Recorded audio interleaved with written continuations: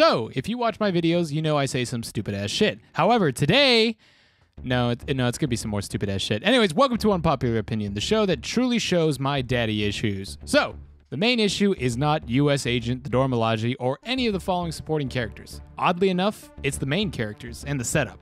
Whoever wrote this show really got something backwards.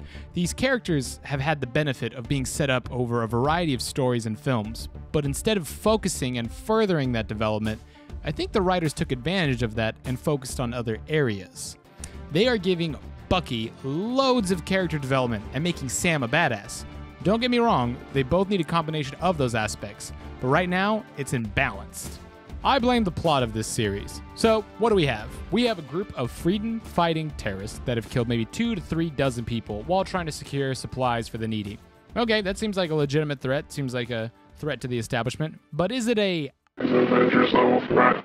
No.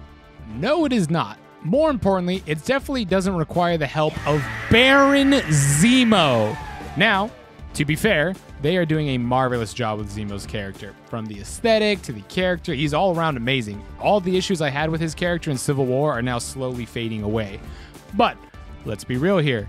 Letting Zemo out of prison to catch the Flag Smasher is the stupidest idea I have ever heard. The ends simply just don't justify the means.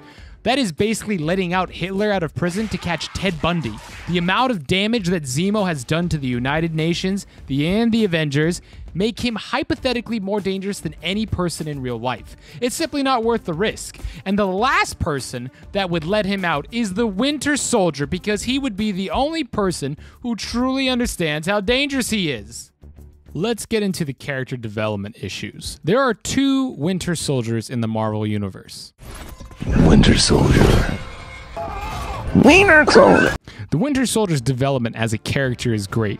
The reluctancy to fight, the remorse and need to amend all the works as the Winter Soldier are fantastic. However, we still need a super soldier.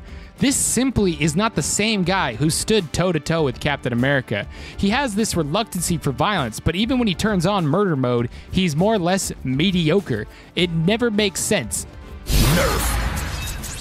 The choreography or the circumstances in which he is fighting never seem to do him any favors. I am just waiting and waiting for him to use his metal arm for something cool, but he doesn't even do it. He has barely used his vibranium arm in any circumstance.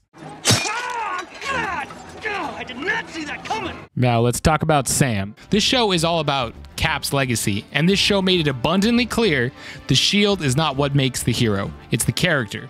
However, in the first four episodes, it barely touched on what makes him a great character. Sam barely had any redeeming qualities that I would find in a Captain America. By the time that we start developing Sam's character, it's already more than halfway through the show. And that is a fundamental pacing issue because now all these dominoes are set up and we're still setting up our initial characters. We're supposed to be ready for this climax and we haven't even got to truly understand that Sam Wilson is a worthy Captain America. That's a real issue given that he's a titular character. But there's so much depth to Sam that we see in other films. He is a character who has known loss, who has helped others heal from their own wounds, who will stand by your side regardless of your decisions, someone who will fight impossible odds just to help out his friends. Sam is a great person and a great leader, a healer in ways, and I feel like somehow they developed that more in minor roles than his own show. Don't get me wrong, I think this is fantastic. I'm very excited to see where this character will go moving forward. That being said, I think the setup in the first four episodes was initially pretty weak.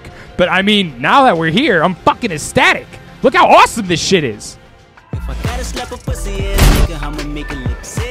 I really like how they established Sam as Captain America, and I think the political commentary is very fitting.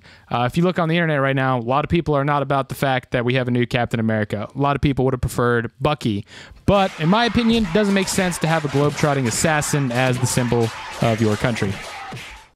So here is how I would have fixed the show. And you can still have most of the set pieces and most of the same, you know, scenes would play out how they played. Uh, A. Zemo would escape prison on his own accord. One kind of feels weird that he didn't because he's kind of a genius and he probably could escape any prison, not only with his extreme wealth, but his military background, but whatever. It could have been a Shawshank thing where he breaks out using his wit, or he could have got out just because he got blipped. He blipped out, then blipped back in. Honestly, that makes sense to me as well. Uh, he doesn't and shouldn't need Bucky's help to get out of prison. After Zemo would escape prison, he would then take refuge in Madripoor. Later, or this is part B, I suppose, Falcon would approach Bucky on where Zemo might be hiding. Bucky would already know about Hydra, given that he was an assassin for them for over 70 years. He would probably remember more than just the people he killed. Falcon and Bucky use the Winter Soldier's knowledge to find Zemo, where Zemo explains that there are more super soldiers out there. Just like in Civil War, they realize it's an issue and they need to take care of it. Zemo would be the one who brings the attention of the Flag Smashers to the dynamic duo. They agree to gather information with Zemo and stop the Flag Smashers, but after that, return him to jail. Most of the Madripoor episode, including that sick ass dance scene, would play out the same. Meanwhile, US Agent is then deployed to catch Zemo because that seems like an issue that would catch the attention of the American government but that's just me. Uh, what would you do if you had the chance to rewrite the show? Uh, a lot of people I hear would like to take out the Flag Smashers, and I kind of get that. They were kind of lame as hell. But what would you like to do with this show? And do you like the new Captain America? And if you don't, I don't care really. So, yeah, please leave your comments and likes below, and dislikes too. Everything is welcome. And if anyone can find me a good tax representative, I'm trying to write off all my Dogecoin.